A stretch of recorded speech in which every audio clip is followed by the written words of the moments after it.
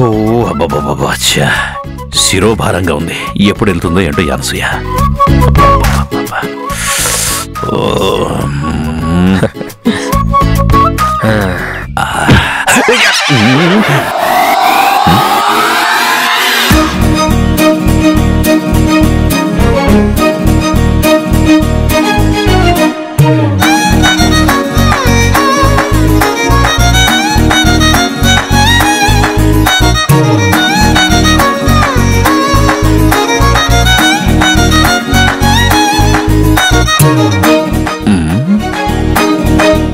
ఏమైంది అల్లుడు? చేతి వంక చూసుకుంటున్నావు?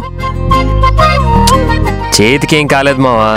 మరి చేతికి ఏం కాకపోతే ఇలగలా అంటున్నావేంటి? ఎహె. ఉంగరం మావా. ఉంగరమా? హ్మ్. చూడు. ఓ అరే!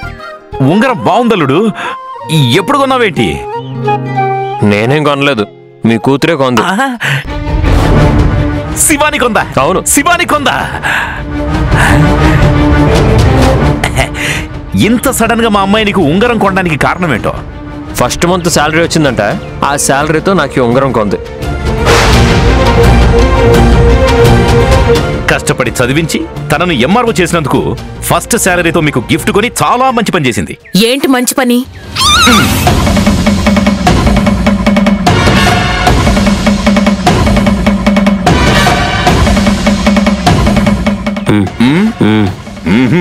రామా శివాని ఎంఆర్ఓ అవ్వడానికి ఇతగాడేం కష్టపడ్డాడట? కష్టపడి చదివింది ఉద్యోగం సంపాదించింది. నా కూతురు గాని ఇతగాడు కాదు. అదేంటనసూయ అంటావు? శివానిని తెల్లవారుజామున లేపి చదివించింది రాయుడే కదా? తెల్లవారుజామున లేవడానికి ఇతగాడే అక్కర్లేదు. అలారం పీసుంటే చాలు. అదే లేపుతుంది. హలో. అలారం పీసు జస్ట్ మోగుతుంది.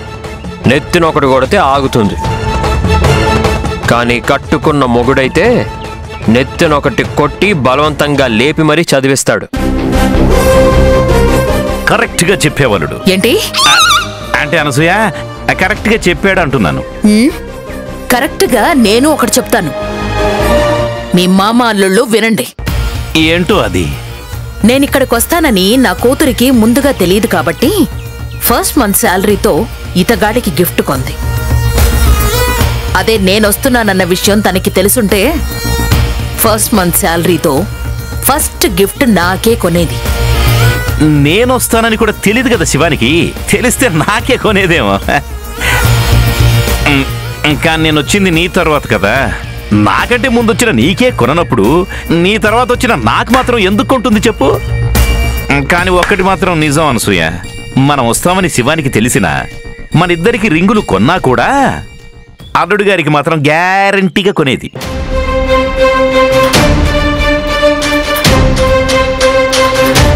కరెక్ట్గా చెప్పావు మామ.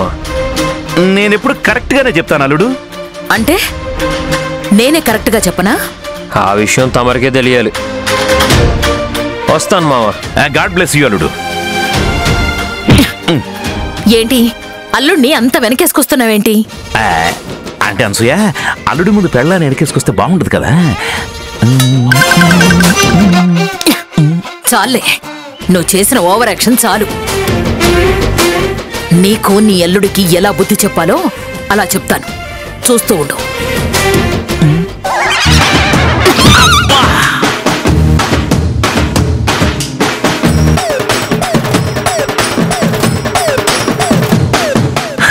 అనసూయ సీజన్స్ మారినా కూడా నువ్వు మారు నువ్వు ఇక్కడ ఉన్నావంటే ఖచ్చితంగా వీళ్ళ కాపురానికి ముప్పే.